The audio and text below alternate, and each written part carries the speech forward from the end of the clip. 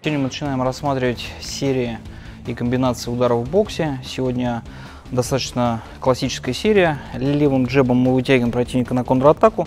Пошел ответом право прямой. Право мы обрабатываем уклоном под правую руку. Открылась у нас печень. Пробиваем по печени. Если даже рука успела закрыться, дублируем правым апперкотом в корпус.